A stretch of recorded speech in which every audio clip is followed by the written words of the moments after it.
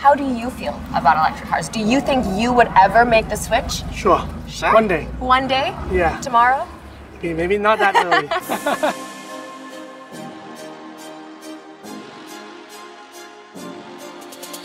I'm Hanli Hoefer, and I'm going 101 into electric driving. We know the facts greenhouse gas emissions are at an all time high. Now, the technology that helps does exist, and part of that is electric cars. So, when it comes to electric driving, I'm curious what's all the hype about? Is this the future of driving? And if it is, can it really satisfy the design conscious consumers? So, first things first, I gotta meet my first car. That right there is Porsche's first electric car, the Taycan. Let's jump in. Man, this car is beautiful. Whoever said electric cars were not cool, dead wrong. We'll be meeting with a couple of motorheads, Jeff and Tab. Jeffrey Doherty is a senior creative director at a global sportswear company. He is a perfect candidate to ask about the design elements of electric cars. Ten is an award winning director and is the face of Thailand's Porsche community.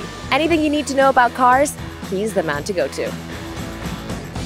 You guys, I am blown away. This is a beautiful car. It's Porsche's first ever full electric production car. I think it's like the big chapter we're seeing in the automotive timeline. You know, electric cars will line the streets one day. I want to know a little bit more about how this helps. You know, the amount of traffic, pollution, it can't keep on. There's only one planet Earth.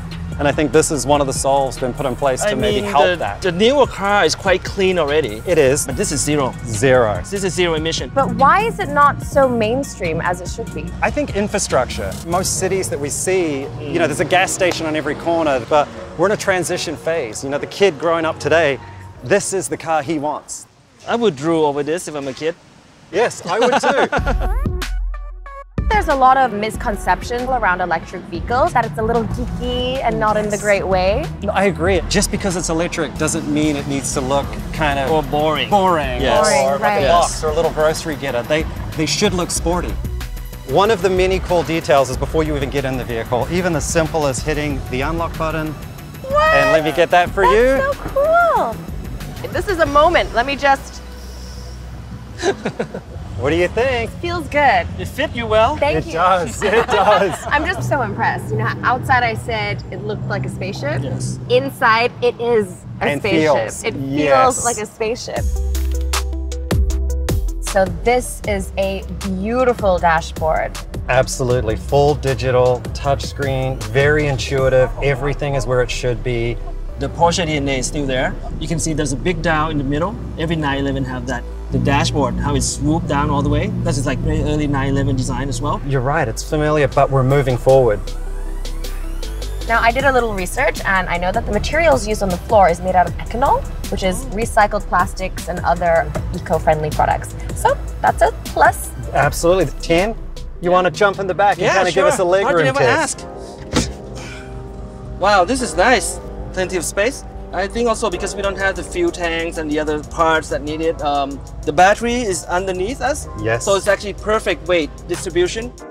What's cool about it is the maintenance is almost zero, right? You don't have the oil change, you don't have oil filters. Basically, you just need to uh, maybe change the tires every once in a while, the brake pads if it wear out, but that's it. So, speaking of charge, how do you charge this baby? Well, that's another exciting kind of little design detail that they really got right on this one. Let's jump outside and take a look. I'll show you. Okay. It may seem like a simple feature, but I'm just going to run my finger along. It's the simple things, right? The simple so details. do that Yeah. And this car is a series of these little simple design considerations all coming together to make the ultimate, ultimate EV. Okay, so this is where my mind's at right now. How come people haven't made the switch? Why are our roads still filled with petrol cars when we could be doing this and saving the environment? I- Well, me and Jeff is Seoul, so maybe we can go to Das Treffen. It's um, the gathering of the Porsche lover in Thailand. So there'll be a lot of petrol head there, and um, maybe you can ask him. I think I will do that. I Okay. will go to the source and I All will right. ask petrol heads why. Das Treffen began when Tan wanted to organize a casual gathering of Porsche owners and their cars. Four years later, this became one of the biggest Porsche gatherings in the world today. So, what's your take on electric cars? Since I'm into the 911, I like the sound, but the electric car, there's no sound, Huh. no feeling. It lost the soul of the rev behind the wheel, and also when you shift the gear, it doesn't have the same feeling as the petrol car. I've been hearing a lot of things about electric cars, but having driven one is different. With the electric cars, the acceleration is instant, and I think that's the um, charm of it. It will take some time to develop, like the technology of Tesla. It's good, but it's not practical.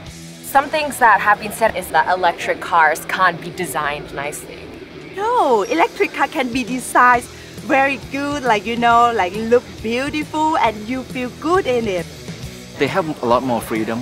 They can do away with all the wiring, all the belts. There's no gear, so you can design it any way or anyhow you wanted it to be because there's no rules anymore. In the future, if there's no petrol, so I will change my, my engine to um, electric engine. It's probably inevitable that one day we'll probably be driving all the electric cars. So I think we, we are in the transition period. What's really cool is that being in a space like this and talking to people who are, you know, old school motorheads or are really excited about electric cars, it's nice to pick their brains about their views on electric driving and the future.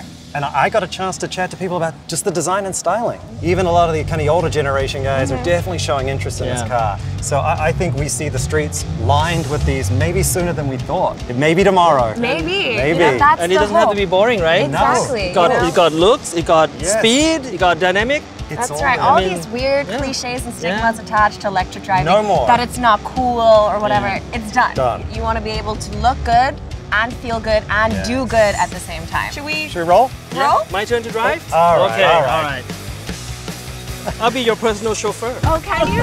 Flores. Oh. Please don't tell anyone around here, okay? I kind of like electric cars. Oh.